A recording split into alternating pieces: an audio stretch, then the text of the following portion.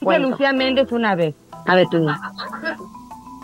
Veía que lo estoy diciendo de verdad, lo estoy diciendo de derecho. Y le digo, tienen que elegir muy bien al papá de sus hijos, porque hay que mejorar la raza. Encuéntrate uno muy bonito, muy grandote, muy preciosísimo, que te adore, que te quiera. Y dices, para que mi hijo nazca tan bonito como Chulo, otros dos, dices, ay, Ay. Yuri, imagínate un cuero, tiene que salir una belleza de niño. Pero lo chistoso es que siempre vamos y agarramos monstruos. Eh, Y es donde cae para los chamacos. Y luego los chamacos vienen perdiendo. Luego tienes que hacer cirugías plásticas, que no, que corran, que suban, que crezcan. Ya no sabes por dónde estirarlos para que, para que den una belleza. de- Yo no la conozco. Nunca nos ¿No conoces a Verónica? O sea, la conozco, pero me refiero que nunca la he tratado.